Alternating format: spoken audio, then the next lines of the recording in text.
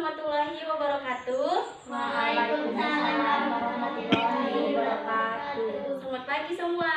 Pagi, Bu. Semangat kita belajar hari ini. Semangat. Ya, bagus ya. Nah, jadi hari ini kita akan mempelajari mengenai bangun ruang sisi datar. Oke? Nah, tapi sebelum itu, eh, kalian kan ini sudah kelas 8. Eh, pasti kelas 7 sudah pernah mempelajari jenis-jenis bentuk dari eh, bangun datar. Ada yang tahu? Ya, silakan. Lingkaran persegi persegi panjang segitiga. Iya, sudah cukup ya. Nah, eh, itu termasuk dari persegi, persegi panjang. Nah, kali ini kita akan membahas mengenai bangun ruang. Artinya, dari bangun datar itu terdapat ruang. Seperti kubus, balok, terus apa lagi? Prisma, limas, dan lainnya. Nah, sudah. Nah, jadi kita mempelajari bangun ruang ini banyak sekali manfaatnya ya tentunya. Eh, salah satunya yaitu misalnya kita ingin membuat sebuah kolam renang. Nah, itu kita bisa menentukan berapa luas untuk membuat kolam tersebut. Karena kolam tersebut kan berbentuk kalau nggak kubus pasti berbentuk ba balok. Nah, nah jadi eh, tujuan pe- pembelajaran kita hari ini sudah itu eh, kalian pasti akan paham apa itu definisi dari kubus dan balok. Sudah?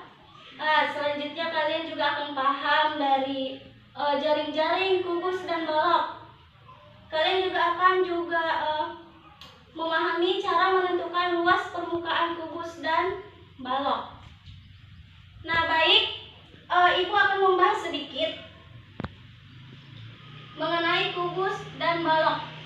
Eh, bentuk kubus itu seperti ini ya.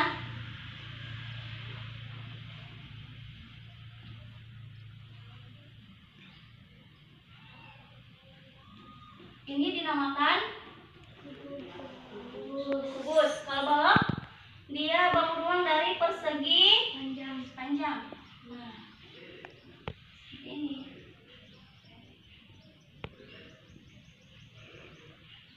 Nah, coba sebutkan contoh-contoh dari kubus dan balok. Sederhananya. Contohnya, Kotak.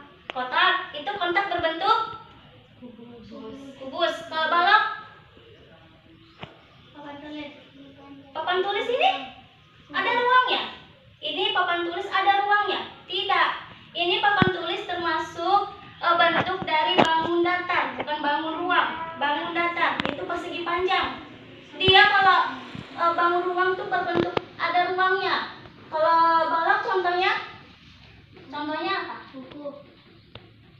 Buku bisa. Kotak pensil. Kotak pensil, iya bagus sekali ya. Nah, jadi itu gambaran sedikit mengenai kubus dan balok. Selanjutnya, Ibu eh, sudah membuat LKS. Tapi sebelumnya kita bagi kelompok dulu. Nah, Ibu bagi dua kelompok ya. Sudah? Nah, untuk kelompok pertama itu ada Paudi, Sandi, dan Aska. Silakan bergabung untuk membentuk satu kelompok. Untuk kelompok dua itu ada Yuli, Sila, dan juga Alvin. Silakan bentuk kelompoknya berbentuk lingkaran. Silakan.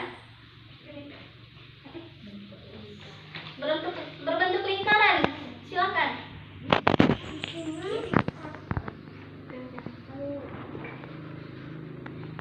Nah, ini oh, LKS.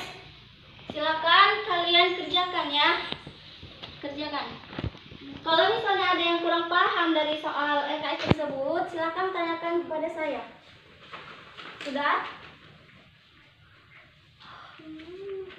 Oh iya diam. Nah, eh, untuk memahami soal, kalian bisa lihat materi yang ada di LKS ya, dan juga beserta contoh soalnya.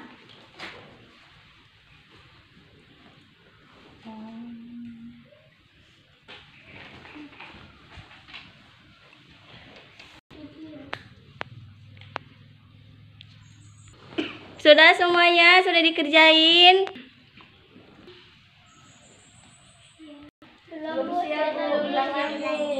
Iya, silakan dikerjakan ya. Kalau misalnya kurang paham, silakan tanyakan sama saya.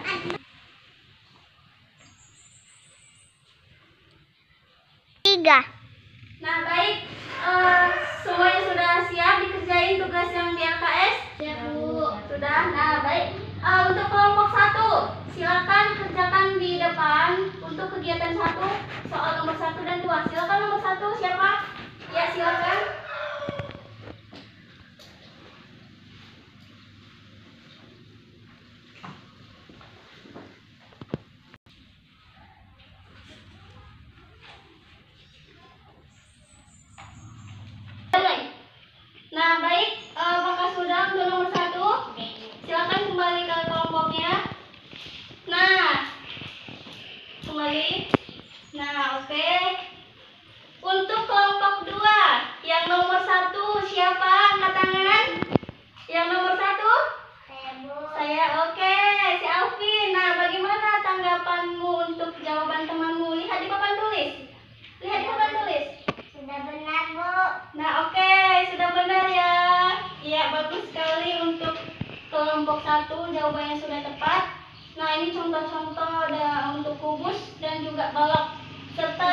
jarinya diperhatikan?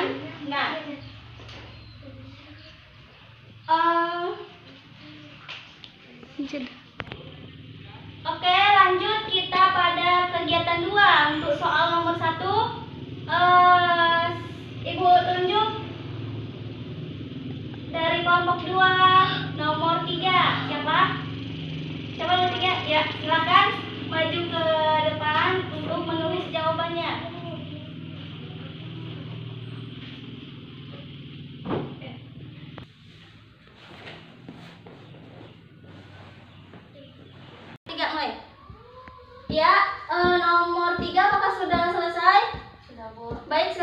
kembali ke kelompoknya.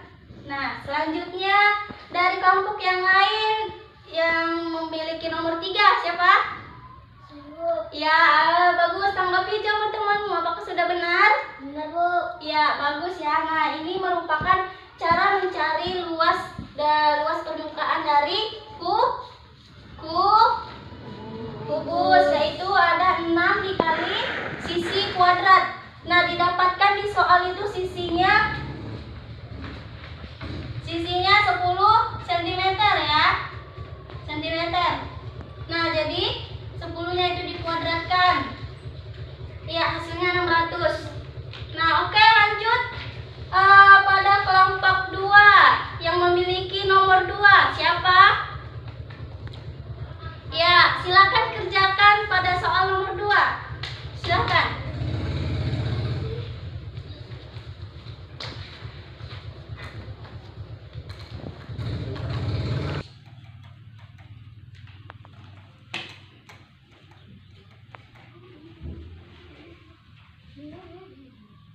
Tiga. Ya. Nah, apakah sudah selesai? Ya, silakan kembali ke kelompoknya. Dah. Ah, untuk kelompok lainnya yang memiliki nomor 2, angkat tangan. Ya, eh, tanggapi jawaban temanmu yaitu dengan hasil 9 cm. Apakah sudah benar? Ya, Bu, sudah benar. Oke, bagus ya. Nah, ini dia cara menentukan luas permukaan dari ba balok, yaitu luasnya ada dua dikali panjang kali lebar tambah panjang kali tinggi tambah lebar kali tinggi. Nah, didapatlah eh, karena luasnya sudah ditentukan, sekarang kita mencari panjang. Panjang ini belum, makanya didapat menggunakan rumus luas permukaan balok. Didapatlah dia panjangnya itu 9 cm. Nah, oke bagus. Eh, pelajaran kita hari ini berjalan dengan sangat baik. Nah, eh, Ibu akan merangkum sedikit yaitu mengenai kubus dan balok. Nah, jadi sudah paham ya semuanya mengenai kubus dan balok juga mengetahui jaring-jaring dari kubus dan balok serta tahu eh, menentukan luas permukaan dari kubus dan balok. Nah, sekarang Ibu eh, suruh kalian coba bikin sebuah rangkuman untuk materi kita hari ini. Silakan eh, ditulis. Silakan bikin rangkumannya.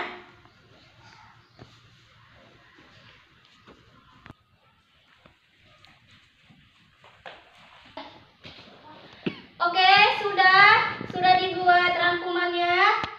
Anak-anak semuanya sudah?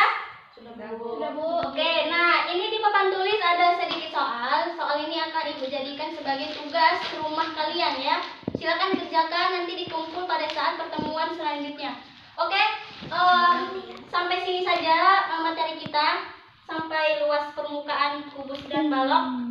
Untuk pertemuan selanjutnya kita akan membahas mengenai volume dari kubus dan balok. Nah, Luar. baik eh, hari ini pelajaran kita berjalan dengan baik dan lancar.